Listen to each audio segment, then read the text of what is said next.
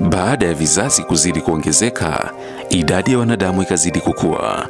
Ndipo wakazaliwa wanawake wazuri sana, wana wa Mungu wa kweli ambao ni malaika, wakaanza kujichagulia wanawake hao wanadamu ili wawe wake zao. Mungu akakasirika sana na akashindwa kuvumilia.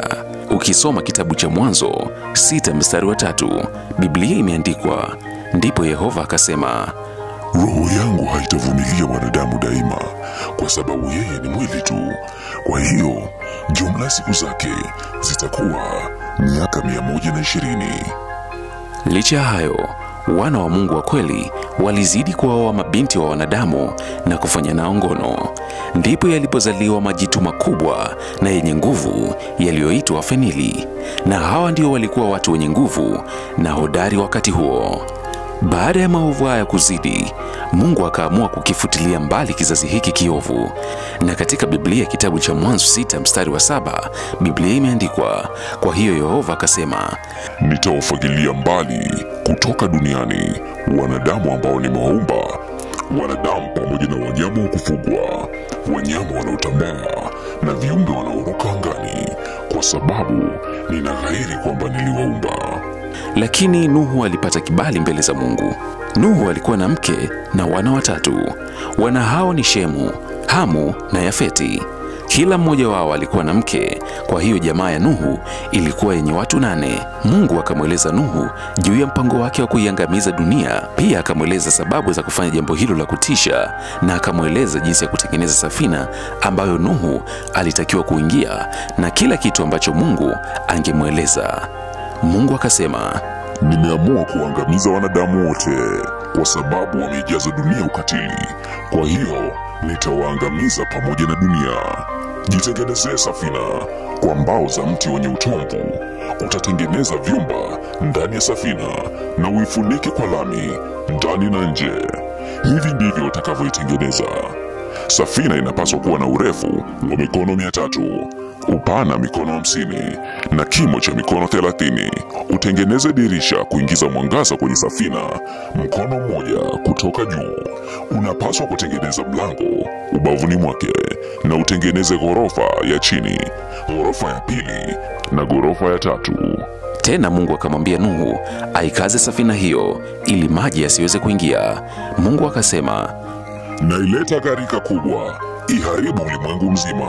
Kila mtu nje ya safina atakufa. Nuhu na wanawe wawili walimtii Yehova, wakaanza kujenga safina, lakini watu wengine walikuwa wakicheka tu. Wanadamu hao walizidi kuwa wabaya mbele za Mungu. Kujenga safina kulichukua muda mrefu kwa sababu ilikuwa kubwa mno. Baada ya miaka mingi, safina ikamalizika. Kisha Mungu akamwambia Nuhu aingize wanyama katika safina. Tena Mungu alimwambia Nuhu aingize namna zote mbalimbali mbali za ndege. Nuhu akafanya kama Mungu alivyosema. Kisha Nuhu na jamaa zake wakaingia katika safina, ndipo Mungu akaufunga mlango. Nuhu na jamaa zake walingoja humo ndani, na wakati huo Nuhu alikuwa na umri wa miaka mia sita. Kitabu cha Mwanzo saba kuanzia mstari wa 11, Biblia imeandikwa katika mwaka wa mia sita wa maisha ya Noa, mwezi wa pili, siku ya 17 ya mwezi huo, siku hiyo chemichemi zote za kilindi kikubwa cha maji zilifunguka kwa nguvu, na malango ya mbinguni ya mafuriko yakafunguliwa, na mvua ikamwagika duniani kwa siku 40 mchana na usiku. Upesi mabonde yakafunikwa, maji yakawa kama mito mikubwa, yakaangusha miti na kupinduapindua mawe makubwa na kufanya kelele nyingi. Watu waliogopa, wakapanda sehemu zilizoinuka zaidi. Afadhali wangemsikiliza Nuhu na kuingia katika safina mlango ulipokuwa bado haujafungwa, lakini sasa walichelewa mno. Maji yakazidi kupanda juu sana, siku arobaini mchana na usiku. Maji yalimwagika kutoka angani, yalifika hata kwenye vilele vya mlima. Upesi hata vilele vya milima mirefu zaidi vilifunikwa kwa maji, kama Mungu alivyokuwa amesema. Watu na wanyama wote walikuwa nje ya safina wakafa, lakini kila aliyekuwa ndani ya safina alikuwa salama. Yale majitu makubwa yalifutiliwa mbali kupitia gharika hilo na mama zao pia, lakini baba zao hawakuwa wanadamu kama sisi. Ni malaika walikuwa wameshuka wakae duniani.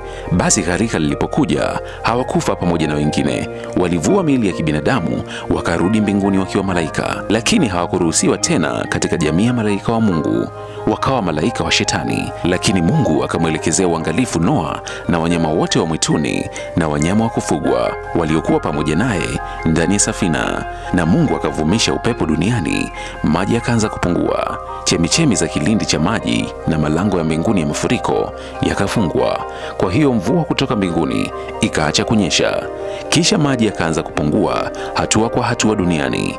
Kufikia mwisho wa siku 150 maji yalikuwa yamepungua sana. Katika mwezi wa saba, siku ya 17 ya mwezi huo, safina ikatua kwenye mlima Ararati na maji yakazidi kupungua hatua kwa hatua mpaka mwezi wa kumi. Katika mwezi wa kumi, siku ya kwanza ya mwezi huo, vilele vya milima vikaonekana. Basi mwishoni mwa siku arobaini, Noa akafungua dirisha la safina alilokuwa ametengeneza na kuangalia nje na kumtuma nje kunguru. Kunguru alikuwa akienda na kurudi mpaka maji yalipokauka duniani. Baadaye akatumwa njiwa ili aone ikiwa maji yalikuwa yamepungua ardhini. Njiwa huyo akupata mahali pa kutua, kwa hiyo akarudi kwa Noa ndani ya safina, kwa kuwa maji yalikuwa bado yameifunika dunia yote. Kwa hiyo akanyosha mkono wake nje na kumwingiza ndani ya safina. Noa akangojea siku saba zaidi, akamtuma tena njiwa nje ya safina. Njiwa huyo alipomrudia Noa ikielekea jioni, aliona kwamba alikuwa na jani bichi la mzeituni mdomoni mwake.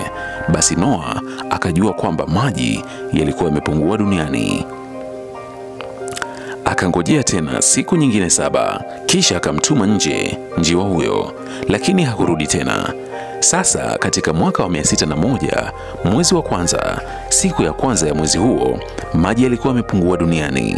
Noa akaondoa kifuniko cha safina na kuona kwamba ardhi ilikuwa ikikauka. Katika mwezi wa pili, siku ya ishirini na saba ya mwezi huo, dunia ilikuwa imekauka. Sasa Mungu akamwambia Noa, Toka ndani ya safina, wewe, mke wako, wanao na wake zao. Toka pamoja na viumbe wote walio hai wa kila aina, viumbe wanaoruka, wanyama na wanyama wote wanaotambaa, ili wazaane duniani na kuongezeka na kuwa wengi duniani. Basi Noa akatoka nje pamoja na wanawe, mke wake na wake wa wanawe, kila kiumbe aliye hai, kila mnyama aliyetambaa na kila kiumbe aliyeruka, kila kiumbe anayetembea duniani akatoka ndani ya safina kulingana na familia yake. Kisha Noa akamjengea Yehova madhabahu, akachukua baadhi ya wanyama walio safi na baadhi ya viumbe wanaoruka walio safi, akawatoa kuwa dhabihu za kuteketezwa juu ya madhabahu hiyo. Na Yehova akaanza kusikia harufu ya kupendeza. Kwa hiyo Yehova akasema moyoni mwake, Sitalaani ardhi tena kwa sababu ya mwanadamu, kwa maana mwelekeo wa moyo wa mwanadamu ni mbaya tangu wakati wa ujana. Nami sitamwangamiza tena kamwe kila kiumbe aliye hai kama nilivyofanya. Kuanzia sasa na kuendelea, dunia haitakosa kamwe kuwa na majira ya kupanda mbegu na kuvuna, baridi na joto, kiangazi na masika, mchana na usiku. Na hayo ndiyo yalikuwa makubaliano kati ya Mungu pamoja na Noa. Tangu hapo kumekuwa na upinde wa mvua, hii ikiashiria makubaliano na agano kati ya Mungu pamoja na Noa.